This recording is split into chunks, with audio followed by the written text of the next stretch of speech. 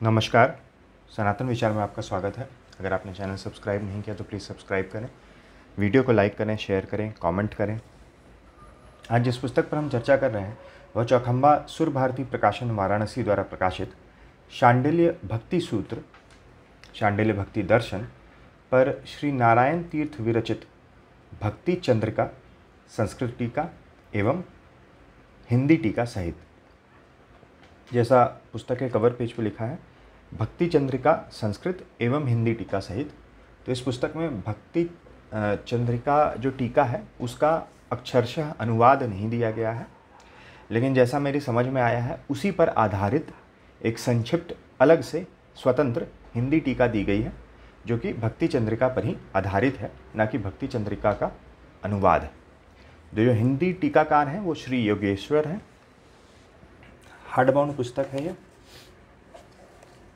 पुस्तक का मूल्य तीन सौ रुपये है। मैंने ऑनलाइन मंगवाया था, चूँकि हार्ड बाउंड है तो मूल्य कुछ अधिक है। पेपर बैक शायद उपलब्ध नहीं था। बीस प्रतिशत का डिस्काउंट मिला था चौकम्बा की वेबसाइट से। कुल पृष्ठ इसमें बाईस पृष्ठों में भूमिका इत्यादि है, विषय सूची वगैरह कवर पेज और एक सौ चौहत्तर पृष्ठों में भक्ति चंद्रिका टीका और श्री योगेश्वर कृत भक्ति चंद्रिका पर आधारित हिंदी टीका है। शांडिल्य भक्ति सूत्र का यहाँ एक परिचय दिया गया है जिसमें प्रारंभ में वो महर्षि शांडिल्य की वंश परंपरा आ, से के बारे में बता रहे हैं। महर्षि शांडिल्य का जन्म प्रजापति कश्यप जी की वंश परंपरा में हुआ। यहाँ आगे लिखते हैं। प्रजापति कश्यप के बारे में कि उस तपस्या में उन्हें वत्सर और असित नाम के दो पुत्र हुए। और फिर आगे असित की एक परना नाम की पत्नी जो हिमालय की कन्या थी ने एक ब्रह्मिष्ठ ब्रह्मनिष्ठ पुत्र को जन्म दिया जो देवल नाम से प्रसिद्ध हुए। और फिर इन देवल ने आ, इनके पुत्र थे महर्षि शांडिल्य।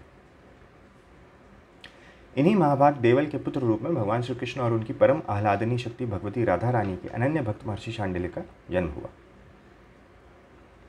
महर्षि शांडिल्य दीर्घजीवी मुनि हुए हैं। उनका जन्म सतयुग में हुआ, परंतु उनका विवरण त्रेता और द्वापर में ही प्राप्त होता है। त्रेता में उनका वर्णन भगवान श्री राम के पूर्वज सूर्यवंशी राजा दिलीप के पुरोहित के रूप में प्राप्त होता है। इसी प्रकार द्वापर में उनका वर्णन नंद राय जी के पुरोहित के रूप में मिलता है। द्वापर में ही सरसैया पर पड़े भीष्म पितामह से उनके मिलने जाने का वर्णन मिलता है। महामुनि गर्ग और कौंडिन, और कौंडिन्य को उनकी द्वारा दीक्षा देने का भी विवरण विवरण प्राप्त होता है। महर्षि शांडिल्य मुख्य रूप से धर्मशास्त्र और भक्ति के आचार्य के रूप में प्रसिद्ध हैं। तीन रचनाएँ इनके नाम से उपलब्ध हैं अभी।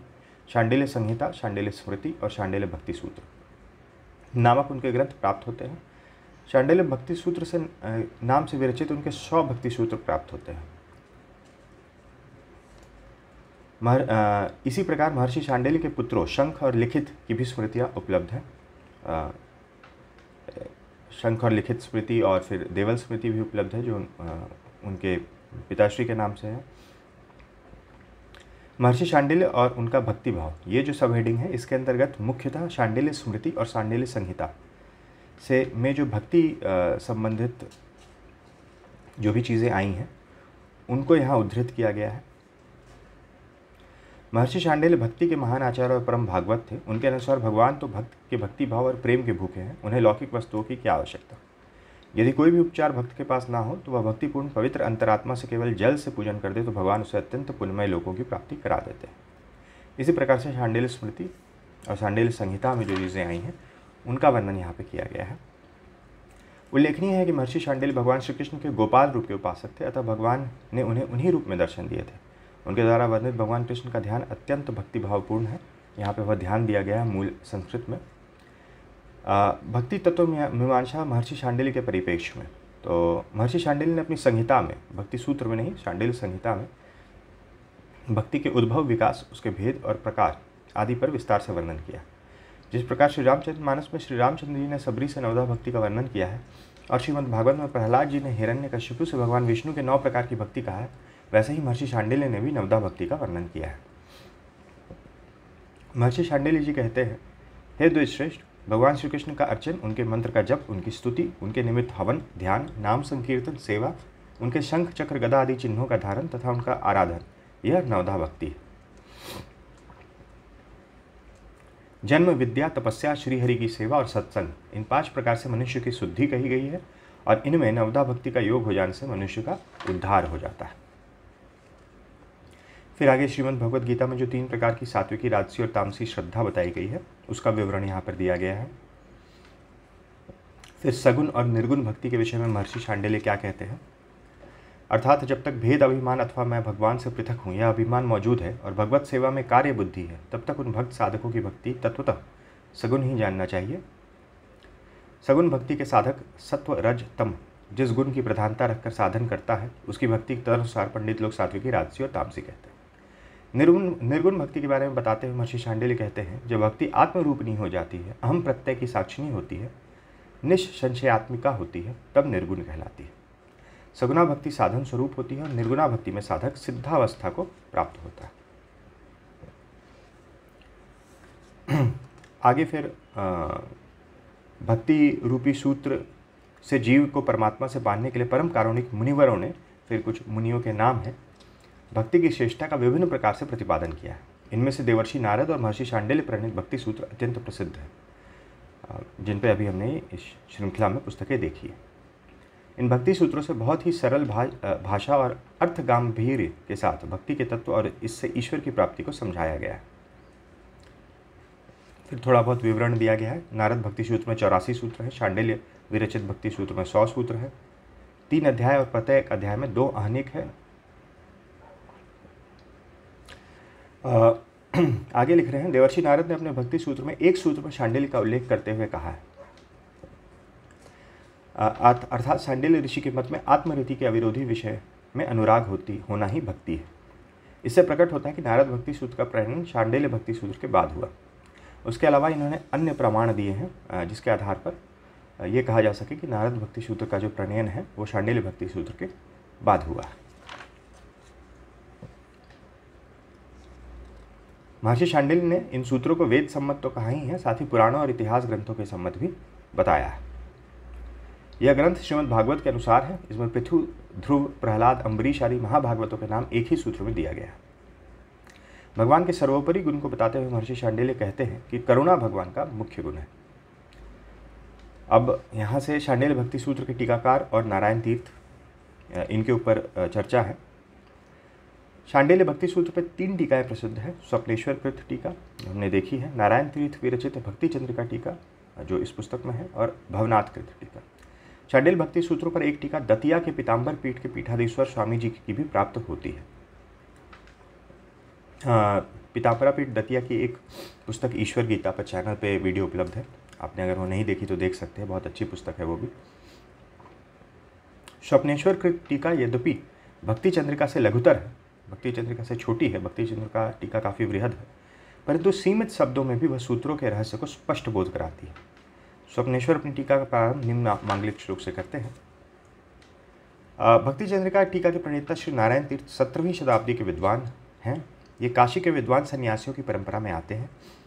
इनके जन्म जन्म स्थान और माता पिता के विषय में कोई प्रामाणिक जानकारी नहीं मिल पाती, परंतु उनके ग्रंथों का अनुशीलन करने से यह ज्ञात होता है कि इनके वासुदेव तीर्थ और राम गोविंद तीर्थ नाम के दो गुरु थे।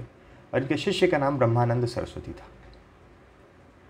फिर इन्होंने जिन जिन ग्रंथों की रचना की है, उसका यहाँ विवरण दिया गया है। कुल तेरह ग्रंथ है। सिद्धांत बिंदु महद व्याख्या महद व्याख्या सिद्धांत बिंदु लघु व्याख्या वेदांत विभाविता टीका, न्याय की शुभंजलि व्याख्या, भाषा परिच्छेद की टीका दीधति टीका, भाट भाषा प्रकाशिका, सांख्य तत्व कौमिदी पर तत्व चंद्र टीका, सांख्य कारिका पर सांख्य चंद्र टीका, योग चंद्रिका। इस पुस्तक पर अगर आप योग दर्शन वाली प्लेलिस्ट में देखेंगे तो वीडियो उपलब्ध है चैनल पर।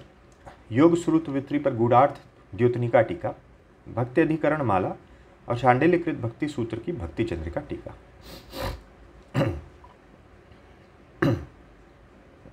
क्षमा करिएगा।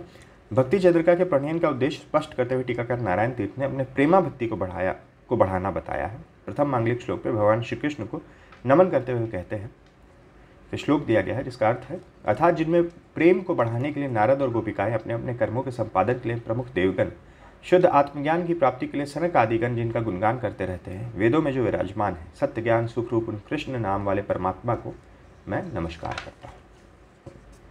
फिर हिंदी में काफ़ी विस्तृत विषयानुक्रमणिका दी गई है जो कि भाष्य में जो भी विषय चर्चा की गई है, उसके अनुसार है। यहाँ से पुस्तक प्रारंभ हो रही है। प्रिंट की क्वालिटी बहुत ही अच्छी है। बहुत ही स्पष्ट है, साफ़ है।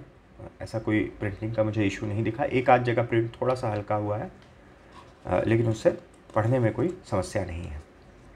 यहाँ से ये मंगलाचरण से और श्री नारायण तीर्थ के इंट्रोडक्शन से पुस्तक प्रारंभ हो रही है। प्रथम शांडिल्य सूत्र यहाँ है, जो बोल्ड में दिया गया है, एक संख्या के साथ अथतो भक्ति जिज्ञासा। फिर ये नॉर्मल फॉन्ट में श्री नारायण तीर्थ की भक्ति चंद्रिका टीका दी गई है।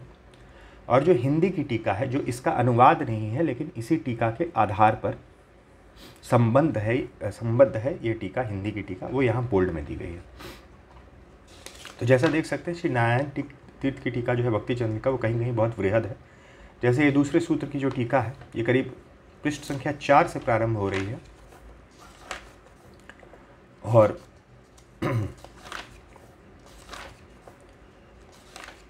देखिए पृष्ठ संख्या।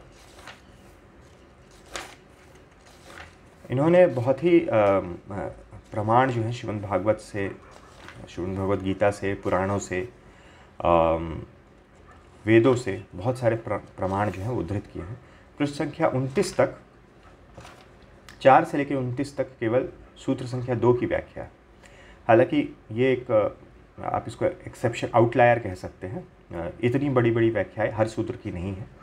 एक आध और सूत्र है जिनकी दस बारह पृष्ठों में है व्याख्याएँ, मगर इतनी बड़ी अन्य सूत्रों की नहीं है। फिर नीचे हिंदी में देख सकते हैं, संक्षेप में ही एक तरह से सार जो है, वह प्रस्तुत कर दिया गया है। यहाँ पर भक्ति और ज्ञान के संदर्भ में भक्ति चंद्रिका में के आधार पर जो हिंदी की टीका है उसमें क्या लिखा गया है, वो मैं कुछ अंश आपको पढ़ के सुना दूँ। जिस ज्ञान से वस्तु का परिचय और उपलब्धि होती है, वह साधन ज्ञान है और ज्ञान ज्ञ और ज्ञाता के अतिरिक्त जो विशुद्ध ब्रह्म स्वरूप ज्ञान है, वो साध्य ज्ञान है। यही ज्ञान स्वरूप ब्रह्म है, जिस भक्ति से शास्त्र आदि को पढ़ने में और देव पूजन आदि में प्रवृत्ति होती है और जिस भक्ति से ज्ञान को पाने की अभिलाषा उत्पन्न होती है, उसको साधन भक्ति या गौण, गौणी भक्ति कहते हैं। तथा ज्ञान योग आदि के द्वारा भगवान का साक्षात्कार होकर मुक्ति को पाने पर भगवान की कृपा दृष्टि से सिद्धात्मा को तन्मय होने के समय जिस प्रीति का संचार होता है, उसका नाम पराभक्ति या साध्य भक्ति है। बहुत से लोग ज्ञान बड़ा है या भक्ति बड़ी है, इस बात को लेकर वितंडा किया करते हैं। हमारा सिद्धांत यह है कि साधन ज्ञान से साध्य भक्ति की प्राप्ति होती है और साधन भक्ति से साध्य ज्ञान की प्राप्ति होती है। अवस्था के भेद से दोनों ही का लाघव गौरव है। वास्तव में साध्य ज्ञान और पराभक्ति में भेद नहीं है। बर्फ़ और बर्फ़ गला जल जैसे अभिन्न है साध्य ज्ञान बर्फ़ और पराभक्ति बर्फ़ गला जल ठीक उसी प्रकार से अभिन्न है। रुचि के भेद से कोई बर्फ़ के टुकड़े को मुख में रखकर खाना अच्छा मानता है, किसी को जल में बर्फ़ को गलाकर खाना अच्छा लगता है। उसी प्रकार से, अब जैसे देखिए यहाँ पर दोनों ही भक्ति चंद्रिका भी लघु है और हिंदी टीका तो अधिकतर स्थानों पे लघु ही है। तो देखिए यहाँ जो श्लोक उद्धृत किया गया है, वही श्लोक इस जगह भी उद्धृत किया गया है। भक्ति चंद्रिका में जो श्लोक और एग्जाम्पल्स उद्धृत किए गए हैं अन्य ग्रंथों से उनको अलग से ऐसे दिया गया है। यहाँ पर फ्लो में ही आ, वो श्लोक दे दिए गए हैं।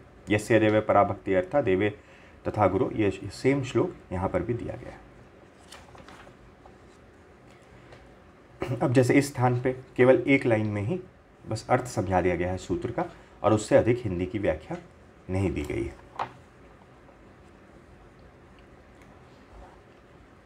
यहाँ भी भक्ति संबंधित जो भूमिका में दिया गया था, उससे संबंधित सूत्र की व्याख्या है।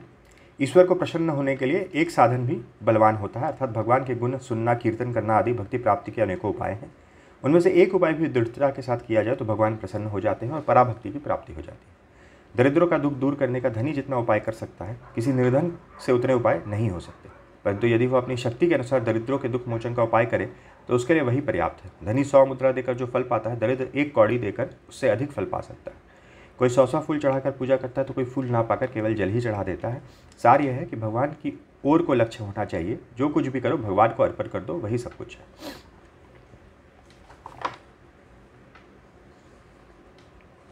इस स्थान पर देखिए, जैसे इस प्रकार से थोड़ा सा एक जगह पे, एक आध जगह पे प्रिंट जो है वो हल्का हुआ है, स्याही हल्की हुई है।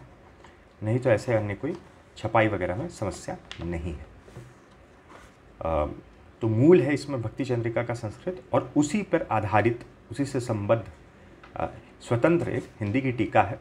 स्वतंत्र मतलब कहने का अर्थ यह है कि उसका अनुवाद नहीं है, बाकी उस पर ही आधारित हिंदी की टीका है। तो पृष्ठ संख्या एक सौ चौहत्तर पर ये पुस्तक समाप्त हो जाती है। ये थी कुछ जानकारी चौखम्बा सुर भारती प्रकाशन द्वारा प्रकाशित शांडिल्य भक्ति सूत्र पर। नारायण तीर्थ विरचित भक्ति चंद्रिका संस्कृत एवं हिंदी टीका के बारे में। वीडियो देखने के लिए बहुत बहुत धन्यवाद। मिलते हैं अगले वीडियो में।